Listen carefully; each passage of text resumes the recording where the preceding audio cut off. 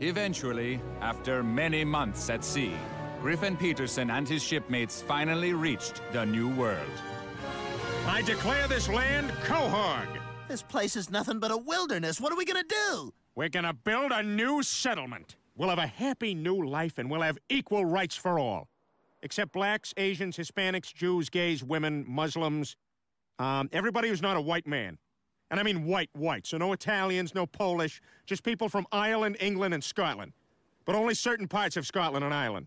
Just full blooded whites. No, you know what? Not even whites. Nobody gets any rights. America.